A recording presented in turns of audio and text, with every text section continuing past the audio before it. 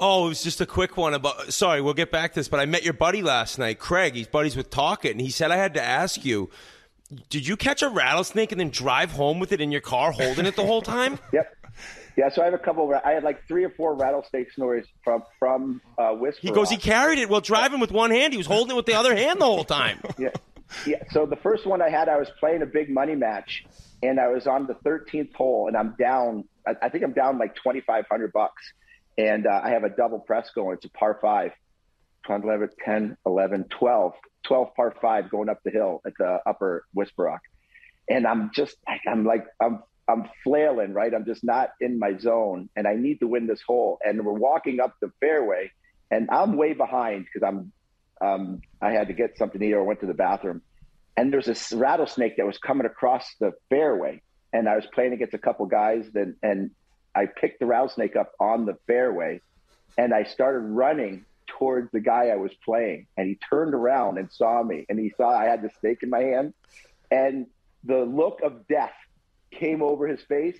And if you ever would have seen a 275 pound guy do like the 50 yard dash in 3.2 seconds, and he's screaming, he's screaming like a bitch.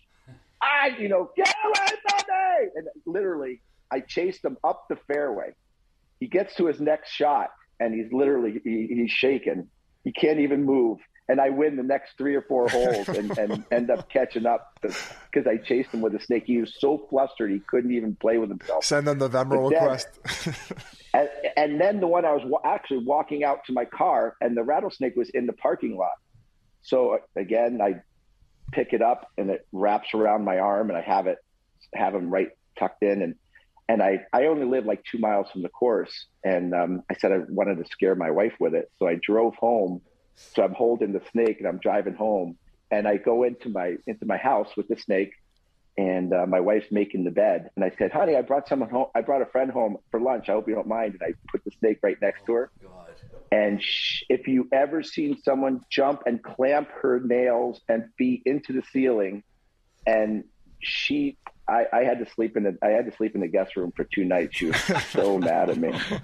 My last story is like you, you, guys you guys know Whisper Rock when you come out of the out of the men's grill.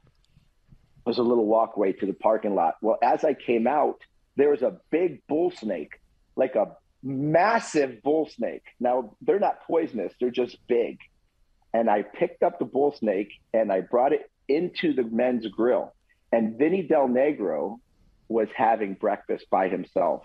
He was sitting at the table, and I went behind him and I let the snake come. I put it on his shoulder, and the snake crawled up right here while he was eating breakfast. And he jumped the whole table, the whole breakfast, flew over, and he ran into the men's locker room. And again, with a screech that you would never forget that came out of a grown man's mouth. and I thought he was going to have a total heart attack.